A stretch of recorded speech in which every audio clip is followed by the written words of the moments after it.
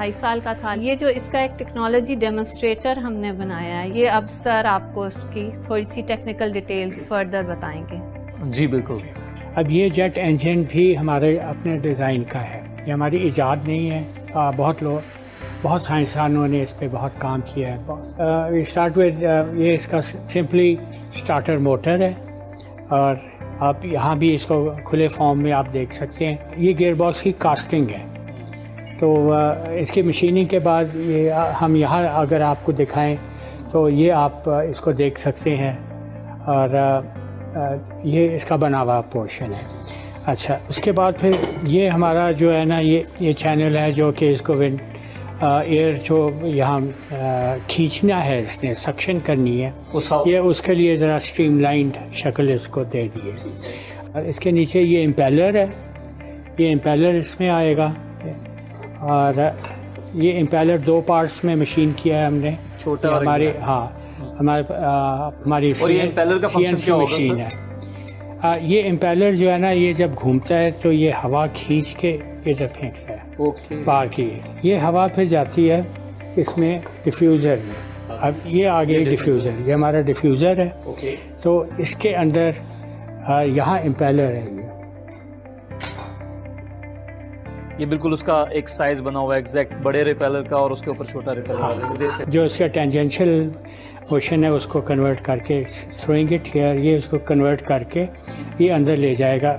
और ये पोर्शन जो है ना यहाँ जो कंप्रेस्ड एयर है वो फैल जाएगी और ये डिफ्यूज़र एरिया है ये उसका। जिसको कि आप अब यहाँ देखें ये चीज़ सारी जो है वो हाँ, पीछे हम देख सकते हैं ये एयर बॉक्स है। और ये हमारा डिफ्यूज़र कवर है। ये हमारा इम्पेलर कवर है। और एक ये जो डिफ्यूज़ है इसका प्रेशर यहाँ डिफ्यूज़र में बढ़ जाता है।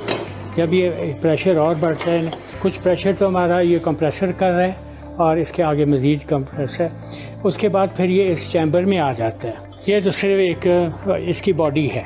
बॉडी है बस कवर करने के दैट्स राइट और इसने सारी चीज़ें पकड़ के रखी अब अब ये जो हमारी कंप्रेस्ड एयर है या डिफ्यूज़र से निकल रही है वो हमारे आ, इसके अंदर कंबर्शन चैम्बर में आती है जिसको कंबस्टर भी कहते हैं।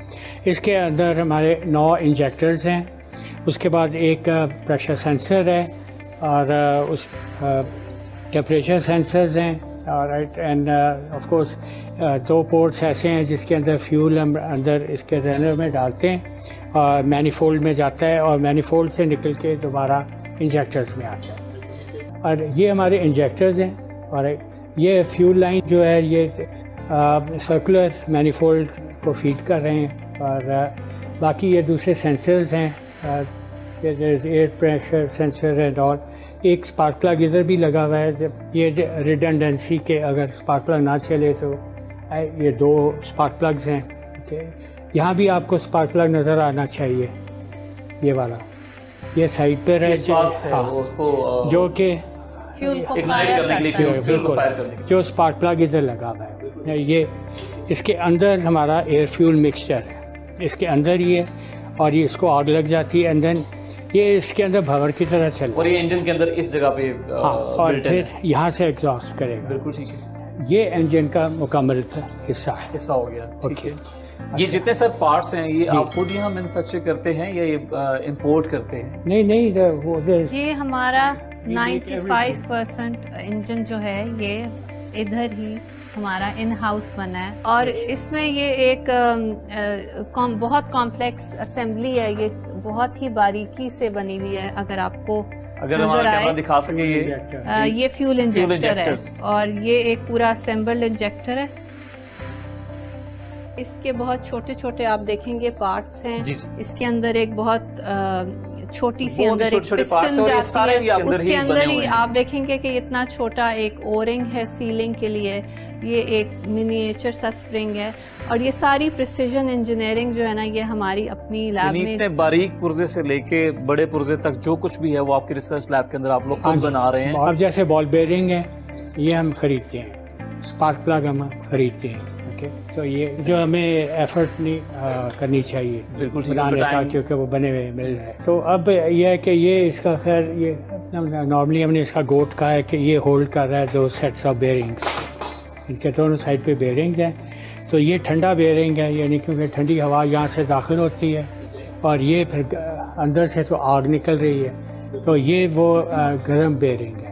Okay. जिसने कि हाई टेम्परेचर बर्दाश्त करना है अब हमें इस इंजन की एफिशिएंसी जो है बेसिकली हम्म। अगर नटशल में बताएँ तो ये जितना गर्म हम इसको चलाएँगे उतना एफिशिएंट होगा तो अब अपर लिमिट जो है वो मटेरियल की होगी ऐसे मटेरियल हैं कितनी आ, जो, जो शिद्दत को बर्दाश्त हाँ, कर सकता जो बेहतरीन लेटेस्ट मटेरियल है वो इनकोनेल है इस वक्त हम्म। तो इनकोनेल तक जो टेम्परेचर बर्दाश्त करे कर सकता है वहाँ तक हम इसको चला सकते हैं। अगर उसे एक्सीड करें ठीक है। तो हमने फिर फ्यूल कम करना होता है वरना वो सब कुछ पिघल जाए। तो और वो फेडैक करता है। FADEC is full authority digital electronic control ये इंजन का इसको जो इलेक्ट्रॉनिक्स जो करता है। वो ये वेरीफाई करेगी ये है ये फेडैक इधर लगा हुआ है। You can see this picture over here अब इसके साथ अपनी लुब्रिकेशन का एक सिस्टम है तो we have a lubrication pump ये भी हमने ख़रीदा हुआ है। Mean we don't need to make a pump तो फिर इसके वाल्व्स हैं और ब्लीड एयर के लिए भी फैसिलिटी दी है। ये कनेक्टर्स लगे हुए हैं इधर। इस वक्त तो यूथे में but they come in to specific portion ये इसके और कुछ इसके हैं जो थर्मोकपल्स हैं। हम इसके मुख्तलिफ़ स्टेजेस पे टेम्परेचर में नापते चले जा रहे क्योंकि जैसे वैसे जनरली कहते हैं इट्स ए हीट इंजन और जो भी इंजन है सारे हीट पैदा करते हैं। जो इंजन का पोर्शन है वो हमने देखा। अच्छा सर ये जो आपके हाथ में कम्बस्टर है इसमें मुझे बहुत सारे सुराख नज़र आ रहे हैं तो इन सुराखों की कोई ख़ास वजह है? हाँ जी ये आ, ये बहुत अच्छा सवाल आपने किया है। आ, ये अमूमन लोग ये पूछते हैं राइट तो अब जैसे मैंने कहा है कि इसका मैक्सिमम टेम्परेचर मटेरियल का है कि जो मटेरियल मैक्सिमम बर्दाश्त कर सकता है ठीक है? इस केस में ये वाले तो खैर इंजेक्टर्स का ये मैं बता चुका हूँ लेकिन ये साइड के होल्स ऐसे हैं कि इनके ऊपर से ठंडी हवा गुजर रही है ओके। वो इसी कंप्रेसर की हवा है। यहाँ से भी और इसके सेंट्रल कोर अगर आप देखें सेंट्रल कोर में से भी जबकि अंदर वो आग लगी हुई है वो जो बर्न हाँ, हो रहा है उसका फ्यूल बर्न लगी हुई है। जी ठीक है। तो ये ठंडी हवा यहाँ से दाखिल होती है इसमें इन सुराखों में से। ठीक है जी। अच्छा ये दाखिल हो के तो अंदर इसके आग है और वो एक एक लेयर हवा का ठंडी हवा का डाल। यहाँ से हवा अंदर जाती रहेगी तो इसी इसी की ये जो सरफेस है दीवार है इसी के अंदर के नीचे एक ठंडी हवा की तय आ जाती है। ओके ठीक है? तो वो आग को इससे लगने से बचाती है। ठीक है इस तो, मेटल को ताकि मेल्ट ना हो जाए हाँ ये मेल्ट ना हो और इसको आग ना लगे। तो वो आप समझे कि जो आग है वो एक हवा के टनल में चल रही है। तो ये ये हमारा कंबस्टर है। सारा शुरू से ही बहुत एक फोकस्ड थी अपनी स्टडीज़ में भी और एक्स्ट्रा करिकुलर एक्टिविटीज़ में भी। उसके फादर जो थे, वो काम कर रहे थे। कुछ उस वक्त भी ये इंजन पे काम कर रहे थे। इनकी अपनी जॉब तो थी, मगर ये साइड पे हमेशा से लैब थी घर में। सारा का ये एम्बिशन ये था कि मैंने ये इंजन बनाने हैं। अबू के साथ इंजन पे काम करना है। पहली जॉब जो मिल रही थी, वो कुछ यू में मिल रही थी, जो ऑफ़िस जॉब होती है सैलरीज भी अच्छी होती है। तो इसके फादर ने कहा कि नहीं, जो हाथ से जिसको काम ना करना होता, वो तो इंजीनियर होता ही नहीं है। इनकी कुछ दोस्त थे, उनकी फैक्ट्री थी, जो एक्चुअली हैंड्स ऑन वो चीज़ें बनाते हैं तो वो उन्होंने वहाँ पे छोड़ा और वहाँ उन्होंने फैक्ट्री फ्लोर पे और उस तरह से मिस्त्रियों के साथ काम किया है। तो वो वहाँ से एक बेस भी बना। मेरा शुरू से ये ये था कि बच्चों को एक क्रिएटिव कामों में लगाए रखना है। एक्चुअली मैंने पीएचडी की है बच्चों के साथ। तो मुझे ये बहुत सूट करता था कि बच्चे किसी क्रिएटिव काम में लग जाएँ, मैं थोड़ा सा सुपरवाइज कर लूँ। और बहुत मैंने कोशिश की है कि बच्चे इंडिपेंडेंट हो।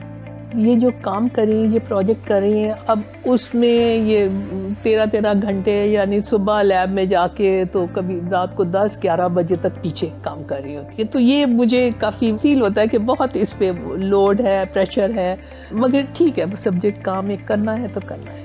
नई जनरेशन के लिए एक मैसेज है। इकबाल का शेर है और इकबाल, जैसा कि आप जानते हैं हमेशा जिद्दोजहद और कोशिश और उसकी वो तरगीब देते हैं। जहाँ और भी हैं, अभी बेनमूद कि खाली नहीं है ज़मीर वजूद। सभी मुंतज़र तेरी यलखार के, तेरी शोखी व फ़िक्र किरदार के। कि they are many new worlds there are waiting for you to just go head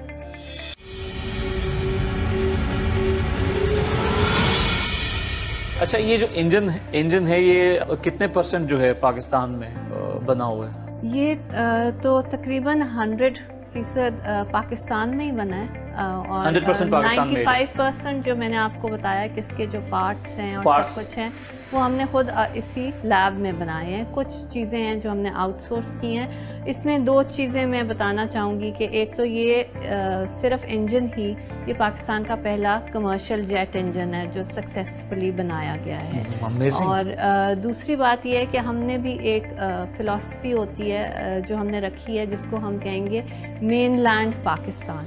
कि हम जो भी टेक्नोलॉजी इस्तेमाल करें और जो भी पुर्जा इस्तेमाल करें और जो भी कुछ इस्तेमाल करें या तो वो पाकिस्तान के अंदर ही बने या फिर वो ऑफ़ द शेल्फ मार्केट में पाकिस्तान में अवेलेबल हो। हम पाकिस्तान को स्ट्रेंथन करना चाहते हैं और पाकिस्तान की लोकल इंडस्ट्री को और हम लोकल मैन्युफैक्चरर्स को सपोर्ट भी देते हैं कि अगर हम कोई टेक्नोलॉजी डेवलप कराना चाहते हैं और उनकी कुछ उसमें महारत है तो हम उनको तो एक उनको ट्रेनिंग भी देते हैं। उनको एक सपोर्ट देते हैं और गाइड करते हैं कि वो हमारे लिए डेवलप करते so this is we call this mainland Pakistan और जो इलेक्ट्रॉनिक्स है जो कॉम्प्लेक्स कंट्रोल सिस्टम्स हैं जिससे हम फ्यूल uh, कंट्रोलर uh, है जो ऑटोमेटेड है वो भी हमारा इन हाउस डेवलप्ड है और जिसका आप ये देख रहे हैं ये हमारा एक हैंड हेल्ड रिमोट कंट्रोल एक सर्किट है इसके अंदर जो कि इसको इंजन को हम जब फायर करते हैं तो ये रिमोटली इसको हम ऑन ऑपरेट कर सकते हैं फ्यूल को वेरी कर सकते हैं और इस पर हमारा जो है ना वो सारा डेटा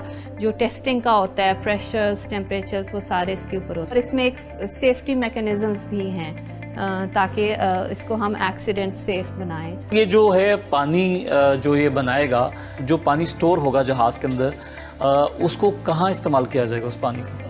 वो जो पानी है उसका टेम्परेचर बहुत हाई है।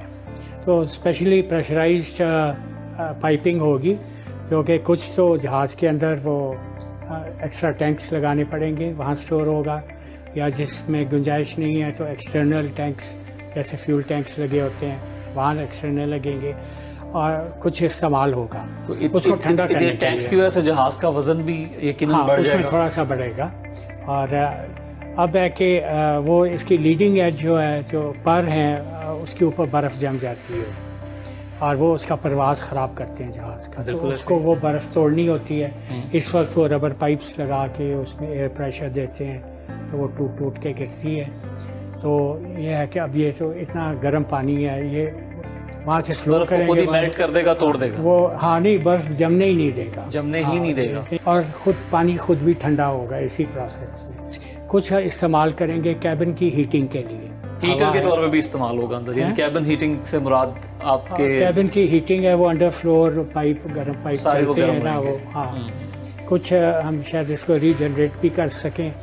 तो वो जो ठंडी हवा इनटेक के अंदर है उसको हीट हीट अप भी कर सके। अब इसके अंदर अब जो एग्जॉस्ट में कार्बन डाइऑक्साइड निकल रही है और उसको तो जाने दें साथ उसके नाइट्रोजन निकल रही है। अब ये जो यहाँ ये नाइट्रोजन और जो कार्बन डाइऑक्साइड निकल रही है सर हाँ। इसका एनवायरनमेंट पे हाँ, इसका होगा इसका डेफिनेटली है हम्म। तो लेकिन यहाँ से हम जो हवा ले रहे हैं वो ऑक्सीजन और नाइट्रोजन है ऑक्सीजन इस्तेमाल कर रहे हैं इसको कार्बन और हाइड्रोजन को जलाने के लिए और जो नाइट्रोजन है वो खाम खा खाम खा खाम खा ही निकल जाती तो वो अगर वो नाइट्रोजन ना हो और खाली ऑक्सीजन का इंजन हो तो बहुत ही कॉम्पैक्ट हो। हमारा जो एम है जो लिमिटेड है वो है कि ये पीछे कंट्रेल ना बनाए। तो वो हमने कैप्चर करी। जो एक्स्ट्रा पानी है वो बाहर आ, बारिश की सूरत में? अगर हम ऐसा उसको डिस्चार्ज करेंगे तो वो फिर अपना बादल बना देगा। फिर दोबारा से हाँ, तो, तो इसलिए दैट इज़ नॉट फीजिबल और उसको हम लोअर एल्टीट्यूड्स पे रिलीज़ करेंगे हाँ, क्योंकि जिस एल्टीट्यूड पे वो फ्लाई करता है प्लेन उस एल्टीट्यूड पे टेम्परेचर इतना कम होता है दर्जा हरारत के वो बादल बनता है। तो जब आप आ, उसको पानी को जमा कर लेते हैं और नीचे आके ज़मीन के करीब करीब आके खारिज करेंगे पे आके फिर तो वो पानी पानी की शक्ल में या बारिश की बारिश की शक्ल में कहीं पे भी बरसाया जा सकता है। ये कितनी क्वांटिटी पानी की जो है वो जो रिज़र्व की जा सकती है ऊपर? अच्छा और वो तो है कि जो जहाज़ है वो अपना फ्यूल खर्च रहा है। और उस उस वजह से हल्का हो रहा है और उसको, उसका फ्यूल इस्तेमाल भी कम यानी थ्रस्ट भी, उसको ताकत भी कम चाहिए। जब तक अपने डेस्टिनेशन तक जाता है उसके, उसका वज़न सबसे हल्का हो चुका होता है। वो सारा फ्यूल जल गया। अब जो इस वक्त अगर सारे मॉलिक्यूल्स को गिने पानी के और केरोसिन के तो वो है कि 1.13 टू 1.15 टाइम्स पानी बनेगा, क्योंकि उसके अंदर ऑक्सीजन तो आसमान से आ गई उसने वो वज़न ऐड कर दिया। तो समझे कि या तो ये समझे कि जितना फ्यूल हमने जलाया, उतना ही पानी बना या उससे ज़रा सा ज़्यादा बना और फिर ये है कि बहुत भारी जहाज़ को लैंड करेंगे, उसके अपना अंडर कैरेज और पहिया शाह वो सारे टूट जाएँगे। तो वो उनका डिज़ाइन ही इतना इतना मज़बूत नहीं करते। वो ये समझते हैं कि जब वो आया है तो फ्यूल से तो कम खाली है। तो यह है कि वो उतरने से पहले भी उसको डिस्चार्ज करना है। अब जैसे दुबई के बाहर वो रेगिस्तान में एक जंगल बनाना है तो ये है कि ठीक है जहाज़ उसके ऊपर से होता हुआ आए और वो डंप कर दे। अच्छा सर मुझे बताएँ कि इसका साइंटिफिक प्लान क्या है? आपकी फर्दर डेवलपमेंट के जो मंसूबे अच्छा, हैं हाँ, वो भी उसके बारे में है करें। सबसे पहले तो ये एक टेस्ट ट्यूब एक्सपेरिमेंट है। ओके। एंड इसके अंदर अगर ये एक कचरा भी पानी बना दे तो हम कहेंगे कि ये कामयाब हो गया। कामयाब हो ठीक है। लेकिन ये ट्वेंटी परसेंट पानी कंडेंस कर ले हम्म। तो हम बहुत खुश होंगे। और उसकी लेजिस्लेशन भी बन जाएगी। फिर उसके चंद साल बाद ट्वेंटी से फोर्टी परसेंट हो जाए फिर सिक्सटी परसेंट हो जाए फिर नाइन्टी परसेंट पानी एक्सट्रैक्ट हो जाए तो जैसे ये euro one euro two euro three अब यूरो फाइव पर भी आ गए हैं। बिल्कुल ठीक है। तो इसी तरह इसकी जो एक्सट्रैक्शन का जो एक, एक प्रोग्राम है, है। और वो फिर बहुत चीज़ें हमने सेल्फ लर्न भी करनी है और, और इसकी इम्प्रूवमेंट जहाँ जहाँ हम कर रहे हैं। और इसी तरह जो हर कंट्रीब्यूशन होती है ना वो एक हर इन्वेंशन हर टेक्नोलॉजी एक परसेंटेज कंट्रीब्यूट करती है। लेकिन जब आप उनका एक कंबाइंड इफ़ेक्ट देखते हैं ना तो वो बहुत ज़्यादा होता है। अच्छा मैम इंजन फायरिंग तो यहाँ पे नहीं हो सकती बिकॉज़ एक तो ये लैब है। तो क्या आप इसका जो ड्राई रन है वो हमें करके दिखा सकते फायरिंग तो इस वक्त मुमकिन नहीं है क्योंकि एक तो वो हम आउटडोर करते हैं और ये जो इंजन है इसकी जो आरपीएम है ये फिफ्टी थाउज़ेंड है। Fifty thousand revolution per minute जो आपकी गाड़ी होती है वो मैक्सिमम uh, जाती है around so you can imagine कि इसमें कितनी फोर्स जनरेटर होती है और इसमें बहुत साउंड जनरेट uh, होती है। And that is something we do under strict safety measures with fire extinguishers and you know हम सारी अपनी सेफ्टी प्रिकॉशंस के साथ करते हैं। तो उसकी स्पेशल कुछ वीडियोस हमने बनाई हुई है। मैं अपनी टीम को हम बुलाते हैं और इसका एक ड्राई रन आपको दिखा ठीक है। जो ड्राई रन है ड्राई रन से मुराद के हम फ्यूल डाले बिना इसको चला के देखेंगे। तो पार्ट्स लूज थे ठीक है उन लूज पार्ट्स को जरा टाइट करेंगे हाँ, चलाने से पहले। We can continue with this ठीक है। तो ये फेडा का है पहले टेस्टिंग हो रही है व्यूअर्स के जो लूज पार्ट्स हैं उनको टाइट किया जा रहा है ताकि उसका ड्राई रन करके हम दे सकें उसे चला के देख सकें। Wow, that's great. Wow, amazing.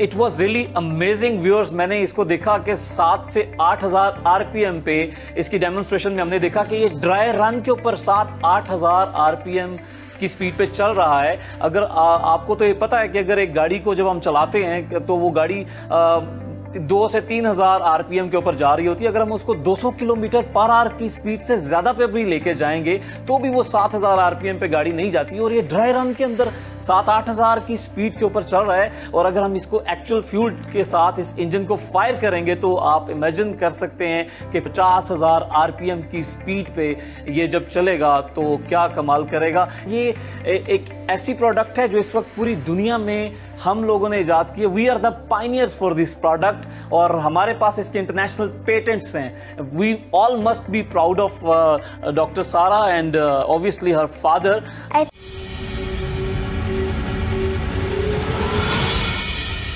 capital सरमाया बड़ी इंपॉर्टेंट चीज़ होती है। वो भी आपने कैसे मैनेज uh, किया? और कौन सी ऐसी मुश्किल थी जिनको फेस करना पड़ा इस प्रोटोटाइप के फेस तक आने में? फ्रॉम 2005 ऑनवर्ड्स तो ये हमारी लेबॉर्ट्री बिल्डअप होती गई bit bit by bit in pieces and और ये आइडियाज़ जो हैं ये तो कहते हैं ये बहुत ही आइडियाज़ आते ही रहते हैं। उस आइडिया पे मेहनत की जाए वही फल लाती है। हम्म। तो ये हमारे पहुँच गए लेकिन एक हमें पेटर्स मिल गया करण दास से जो कि वहाँ से हमें कुछ और मज़ीद सीड मनी मिल गई। इस आइडिया को डेवलप करने। अच्छा हमारी ऑडियंस को ये भी प्लीज़ बताएँ कि करण दास से जो आपने सीड मनी ली तो उसका तरीक़ेकार क्या था? करण दास का एक प्रोग्राम है जिसको वुमेन एंटरप्रेन्योरशिप चैलेंज कहते हैं या वुमेन वेंचर फंड तो उसमें वो जो भी वुमेन लेड बिजनेसेस होती हैं उनको वो फंड करते थे उनका एक स्पेसिफिक क्राइटेरिया था।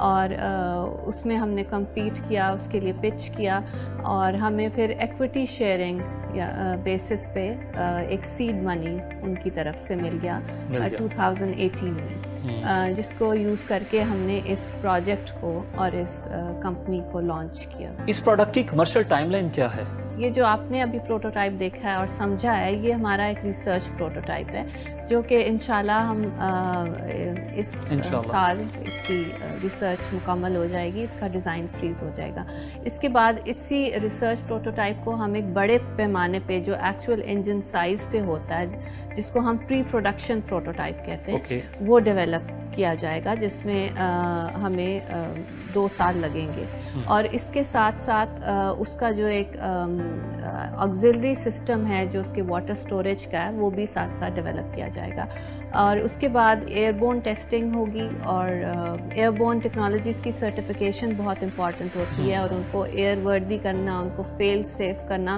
क्योंकि उसमें रिस्क का चांस नहीं होता जैसे हमारी ग्राउंड बेस्ड टेक्नोलॉजीज़ हैं कि आपकी गाड़ी ख़राब हो गई और आपने साइड पे रोक के घर चले गए अगर जहाज़ खुदा ना खास्ता ख़राब हो जाए तो बहुत बड़ा जानी नुकसान हो सकता है। तो उसकी इसलिए टेक्नोलॉजी की सर्टिफिकेशन होती है जिसमें भी वक्त दरकार होता है जिसके बाद उसको आप मार्केट कर सकते हैं और कमर्शियल लॉन्च कर सकते हैं। सर इसकी जो एयरबोन टेस्टिंग और सर्टिफिकेशन को इतना टाइम क्यों लगता है? आपने कहा दो साल सर्टिफिकेशन के लिए चाहिए तो हाँ उस, उसके साथ ये है कि एक डुप्लीकेशन होती है हर पुर्जे की अगर पंप है तो दो पंप हैं।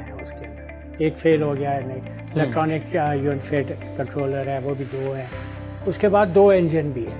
अगर एक इंजन फिर भी फेल भी हो गया तो दूसरा इंजन उसको एक सेफ़ जगह तक पहुँचा हाँ, देगा। पहुँचा देगा बेशक उसकी बुलंदी गिरती जा रही है। हम्म। इस प्रोजेक्ट के लिए मिनिमम इन्वेस्टमेंट कितनी रिक्वायर है?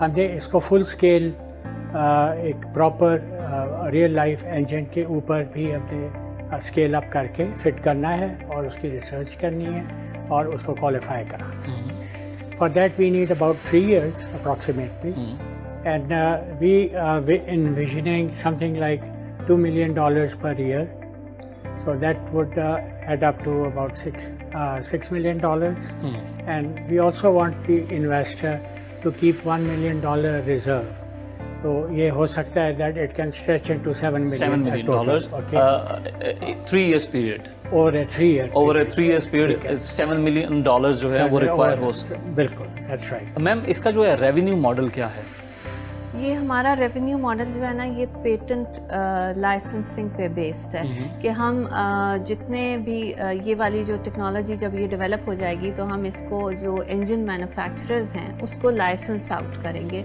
और वो एक परसेंटेज ऑफ़ रेवेन्यू जो है वो हमें पे करेंगे। पे करेंगे depending on the number of engine that acquire this technology ji thank you very much no doubt इस प्रोडक्ट में बड़ा पोटेंशियल है। नो no डाउट आप इस बात को समझ सकते हैं कि जो एयरक्राफ्ट मैन्युफैक्चरर्स हैं या जो इंजन बनाने वाले लोग हैं उनके रेवेन्यूज कितने हायर होते हैं उनके प्रॉफिट मार्जिन कितने हायर होते हैं। तो अंडरस्टूड है कि इस प्रोडक्ट में इस इनोवेशन में कितना पोटेंशियल है फ्यूचर में। तो वो बड़ा ही क्लियर है। इसके साथ साथ हर दफ़ा की तरह मैं आपको ये भी बताता चलूँ कि जो इन्वेस्टर्स हैं उनका डिस्कवर पाकिस्तान हर कदम पर साथ देगा। उनकी एडवर्टीजमेंट से लेकर इस प्रोडक्ट की प्रमोशन में जहाँ जहाँ जिस जिस जगह पर उस इन्वेस्टर को हमारे साथ की ज़रूरत पड़ेगी तो हम उनका पूरा पूरा साथ देंगे। हमारे लिए एक्सपर्ट की ओपिनियन बहुत मोतबर होती है। तो चलते हैं एक्सपर्ट के पास। इको फ्रेंडली जेट इंजन पर एक्सपर्ट रिव्यूज़ के लिए हमने इनवाइट किया फैसल शेरजान को, जो कि अरसा दराज से एंटरप्रेन्योरशिप की फ़ील्ड में खिदमात सर अंजाम दे रहे हैं।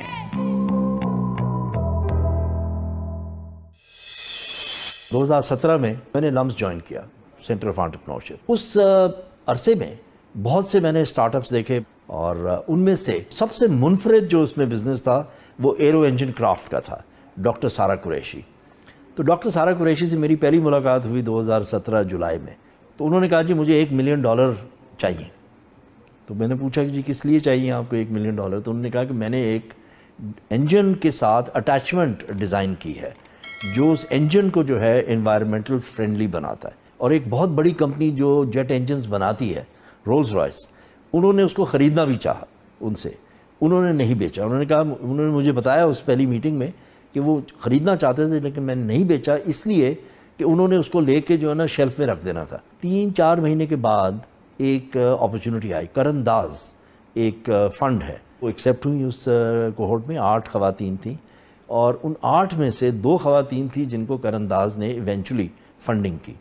उनमें से डॉक्टर सारा कुरैशी एक हैं, जिनको दो लाख डॉलर उस वक्त दिए गए करण दास की तरफ़ से। जो हम कहते हैं जी टेक्नोलॉजी रेडनेस लेवल्स ये नासा ने डिज़ाइन किए।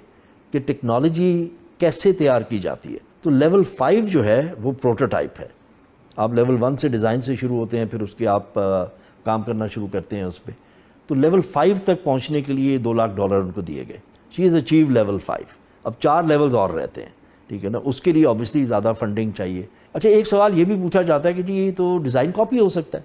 बट ये इस किस्म की चीज़ है हाई लेवल इंजीनियरिंग है। इसका डिज़ाइन जो है, वो बड़ा इस्टेब्लिश्ड उसका, उसकी फॉर्म है। तो उसको जो है वायलेट करना पैटर्न को वायलेट करना बड़ा मुश्किल काम है।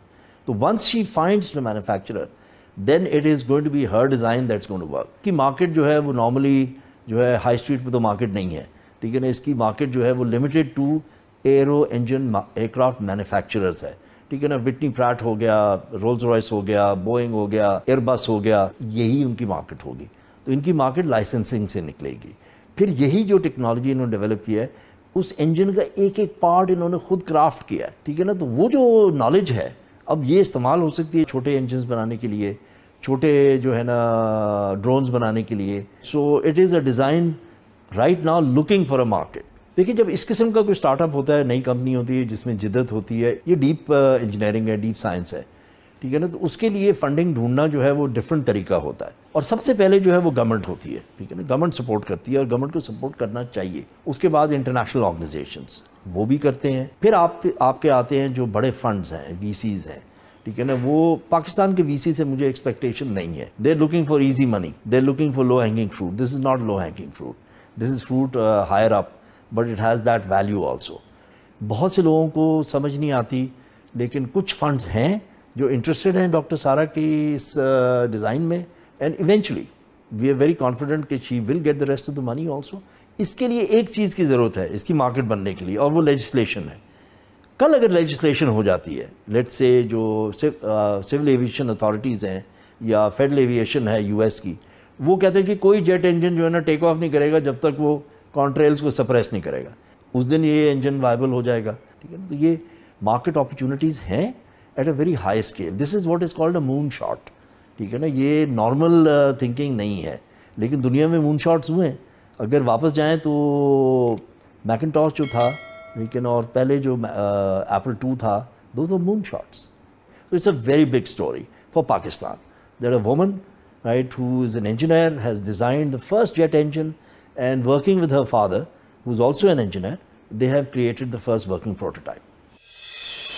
तो ये थी डॉक्टर सारा कुरैशी और इनके वालिद मसूद लतीफ कुरैशी एक ऐसे आइडिया के साथ जो इनशाला पूरी दुनिया के साथ साथ पाकिस्तान को भी माहौलियाती आलूदगी से बचाएगा अब वक्त है कि पाकिस्तान की इस जहीन बेटी को इसके अजीम मकसद में कामयाब बनाने के लिए इनका साथ दें हमारे दिए गए ईमेल और व्हाट्सएप पे हमसे रबता करें। इसके अलावा अगर आप भी इन्वेंटर या ऑन्टरप्रन्योर हैं और चाहते हैं कि इन्वेंट पाकिस्तान के ज़रिए आपको भी इन्वेस्टर से मिलवाया जाए तो आप भी हमसे रबता कर सकते हैं और अपने आइडियाज़ हमसे शेयर कर सकते हैं। Signing out from invent Pakistan only on discover Pakistan सबसे प्यारा पाकिस्तान।